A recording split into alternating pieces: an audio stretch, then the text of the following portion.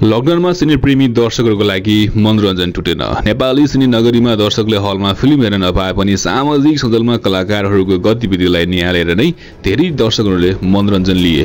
कोहीले अन्तर्वार्तामा बोली चिप्लाएर मनोरञ्जन दिए भने कोहीले आरोप प्रत्यारोप लगाएर मनोरञ्जन दिने काम गरे। गर्छु नै भनेर बोली चिप्लाएको भने त होइनन् तर सो कुराले स्वयं कलाकारलाई नै ठुलो असर पुग्न गयो।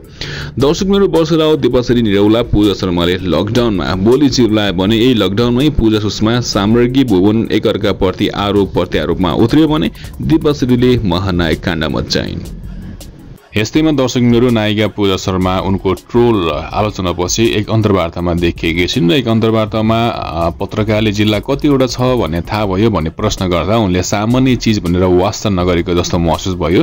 यो कुराले आगामी दिनहरूको लागि पाठ सिकाएको उनले बताएकी छिन्। उनले भन्दछिन् म एकदमै पुलपुली रहेको थिएँ किनकि सबैको माया पाइरहेको थिएँ। आफूले कति गाली पाएको र पहिलो फ्यान थिएँ तर अहिले छैन भन्नेहरू पनि आएको उनले बताएकी छिन्।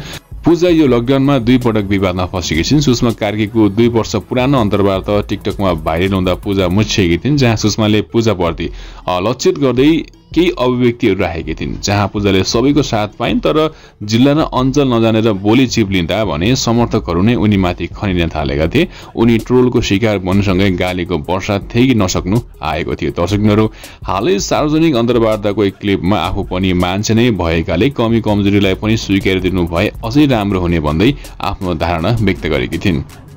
उनले उक्त कुरा जान्नुपर्ने चिज हो पढेको पनि हो नत्र अहिले मास्टर गरिरहेको हुन्न थियो होला भन्दै स्पष्टीकरण दिइन्। आफ्नो कारणले कतिलाई चित्त दुखेको छ किनकि नायिका भइसकेपछि सबै कुरा थाहा हुनुपर्छ भन्ने फ्यानको विश्वासमा आफू चुकेको पनि स्वीकार गर्छिन्। यस्तै कुराकानीको क्रममा उनले भन्दछिन् नराम्रो कमेन्ट गर्नलाई आफूले फेक एकाउन्ट नभन्ने भन्दै आफूसँग कमजोरी हुँदाहुँदै फेक एकाउन्ट भन्न नमिल्ने बताइन्। उनी भन्दछिन् गाली गर्नुभयो भने मैले सिकेँ। अबको दिनमा एकदमै सतर्क हुने भन्दै सबैजनासँग माफी पनि मागेकी छिन्। दर्शक मित्र तपाईँहरू के भन्न चाहनुहुन्छ? यस विषयमा कृपया कमेन्ट गर्नुहोला धन्यवाद।